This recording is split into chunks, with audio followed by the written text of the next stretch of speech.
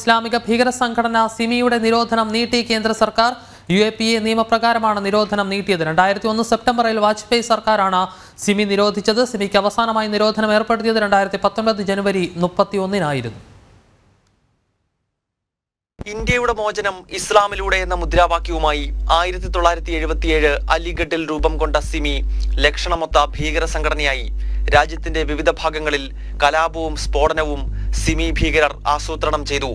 രണ്ടായിരത്തി ഒന്ന് സെപ്റ്റംബർ പതിനൊന്നിന് വേൾഡ് ട്രേഡ് സെന്ററിന് നേരെ ഇസ്ലാമിസ്റ്റുകൾ നടത്തിയ ഭീകരാക്രമണത്തിന് പിന്നാലെ സിമിയെ എ ബി വാജ്പേയി സർക്കാർ രാജ്യത്ത് നിരോധിച്ചു. രണ്ടായിരത്തി ആറിൽ നിരോധനം വീണ്ടും നീട്ടി. രണ്ടായിരത്തി എട്ടിൽ ഡൽഹി ഹൈക്കോടതിയുടെ ട്രൈബ്യൂണൽ സിമിയുടെ നിരോധനം എടുത്തുമാറ്റി സിമിയുടെ ഭീകര സ്വഭാവം വ്യക്തമാക്കുന്ന തെളിവുകൾ ഹാജരാക്കുന്നതിൽ മൻമോഹൻ സിംഗ് സർക്കാർ പരാജയപ്പെട്ടതാണ് നിരോധനം നീക്കാൻ ഹൈക്കോടതിയെ പ്രേരിപ്പിച്ചത്. എന്നാൽ തൊട്ടടുത്ത ദിവസം തന്നെ സിമി നിരോധനം നീക്കിയ ഹൈക്കോടതി നടപടി സുപ്രീം കോടതി സ്റ്റേ ചെയ്തു.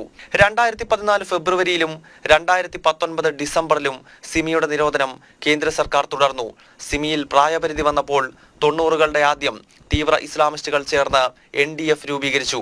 മാറാട് കലാപത്തിൽ ഉൾപ്പെടെ എൻ ഡി എഫ് ബന്ധം മറനീക്കി പുറത്തു വന്നതോടെ രണ്ടായിരത്തി ആറിൽ അത് പോപ്പുലർ ഫ്രണ്ടായി.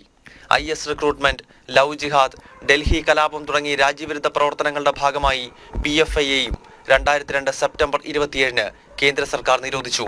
ജനം ഡൽഹി.